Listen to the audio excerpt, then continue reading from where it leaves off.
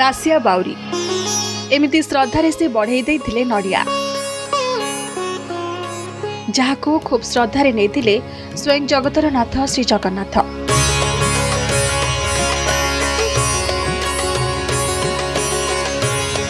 ଇତିହାସ କୁହେ ଯେ ଭକ୍ତ ଦାସିଆ ହିଁ ଶ୍ରୀ ଜଗନ୍ନାଥଙ୍କ ଶ୍ରେଷ୍ଠ ଭକ୍ତ। ପିପିଲି ତେଇଶପୁର ପଞ୍ଚାୟତ ବାଲିଗାଁରେ ଅବସ୍ଥିତ ଭକ୍ତ ଦାସିଆ ପୀଠ ରାଜ୍ୟ ପର୍ଯ୍ୟଟନ ମାନଚିତ୍ରରେ ଏକ ସ୍ୱତନ୍ତ୍ର ସ୍ଥାନ ପାଇଛି।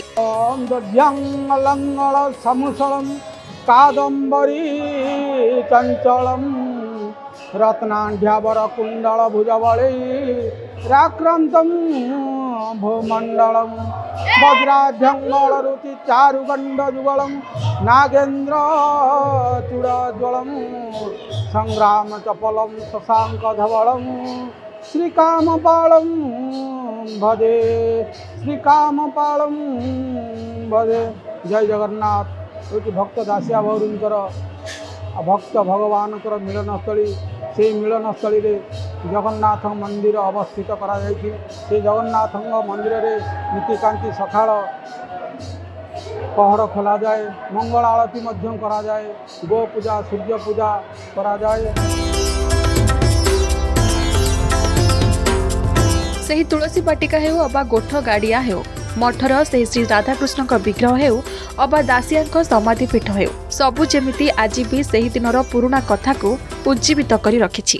ଭକ୍ତ ଦାସିଆ ଏତେ ବଡ଼ ଭକ୍ତ ଥିଲେ ଯେ ଭଗବାନଙ୍କ ଦର୍ଶନ ପାଇଁ ସେ ବହୁତ ଦିନ ହେଲା ଅପେକ୍ଷା କରିଥିଲେ। କିନ୍ତୁ ତାଙ୍କ ଭକ୍ତରେ ଜଗନ୍ନାଥ ମହାପ୍ରଭୁ ଏତେ ସନ୍ତୁଷ୍ଟ ହୋଇକରି ତାଙ୍କୁ ଗାଡ଼ିଆରେ ଗୋବା ଗାଡ଼ିଆରେ ଦେଖା ଦେଇଥିଲେ। ବହୁତ ପ୍ରିୟ ଖାଦ୍ୟ ହେଲା ଶାଗ ଆଉ ଯା ଏଠି ବହୁତ ଲୋକଙ୍କର ଗହଳ ଚହଳ ଲାଗି ରହିଛି। ରାତିରେ ଆଉ ଯେତିକି ଯେତିକି ସମୟ ବଢ଼ୁଛି ସେତିକି ସେତିକି ଲୋକଙ୍କର ଜନଗହଳି ବଢ଼ିଯାଉଛି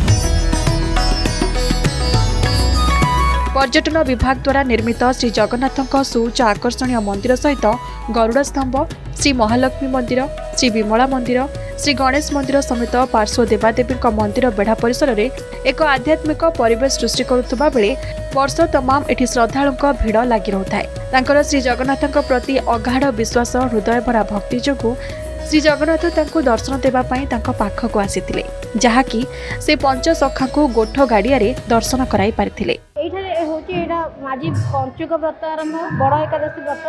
ଭକ୍ତ ଦାସିଆଙ୍କର ଜନ୍ମତିଥି ଅବସରରେ ଏଇଠାରେ ଆମର ବହୁତ ଲୋକ ଆସନ୍ତି।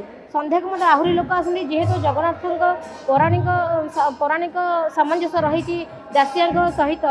ଏଠା- ଏଠାରେ ମାନେ ପ୍ରଥମେ ଭୋଗ ହେଉଛି ଆଜି କ୍ଷୀରି ଆଉ ଶାଗ। ଏଇଟା ହେଉଛି ପ୍ରଥମ ଭୋଗ ଅଛି। ଏହାପରେ ବହୁତ ଲୋକ ଆସିବେ ପ୍ରସାଦ ସେବନ କରିବେ। ରାତକୁ ଆହୁରି ଲୋକ ଆସିପାରନ୍ତି। ଭଜନ କୀର୍ତ୍ତନ ଅଛି। ଦେଖନ୍ତୁ ଲୋକମାନେ ବହୁତ ଆସୁଛନ୍ତି ଏଠାକୁ। ଏଇଟା ବହୁତ ଭଲ ଲାଗେ ଏଇଠାକୁ ଆସି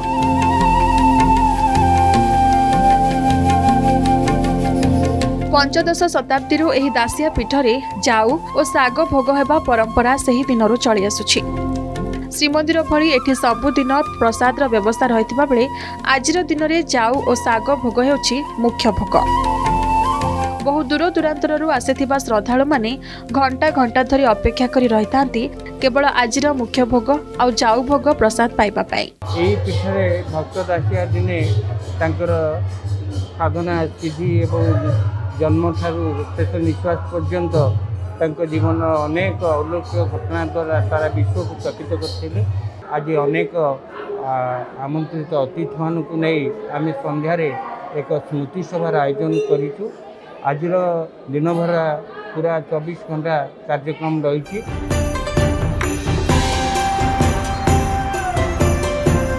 ନିକଟରେ ଦାସିଆ ବାଉରୀଙ୍କ ଜନ୍ମତିଥି ଖୁବ୍ ଧୁମ୍ଧାମ୍ରେ ପାଳିତ ହୋଇଯାଇଛି। ହଜାର ହଜାର ଶ୍ରଦ୍ଧାଳୁ ଭକ୍ତ ଶିରୋମଣିଙ୍କ ଦର୍ଶନ କରିବା ସହ ଚତୁର୍ଥ ମୂର୍ତ୍ତିଙ୍କୁ ଦର୍ଶନ କରିଥିବା ସହ ସାଂସ୍କୃତିକ କାର୍ଯ୍ୟକ୍ରମରେ ଯୋଗ ଦେଇଥିଲେ ପିପିଲିରୁ ଦୁର୍ଗା ମାଧବ ପରିଡ଼ାଙ୍କ ରିପୋର୍ଟ ଅର୍ଗସ୍ ନ୍ୟୁଜ୍ ଯଦି ଆପଣଙ୍କୁ ଆମ ଭିଡ଼ିଓଟି ଭଲ ଲାଗିଲା ତେବେ ଆମ ଚ୍ୟାନେଲକୁ ଲାଇକ୍ ସେୟାର ଓ ସବସ୍କ୍ରାଇବ୍ କରିବାକୁ ଜମା ବି ଭୁଲନ୍ତୁ ନାହିଁ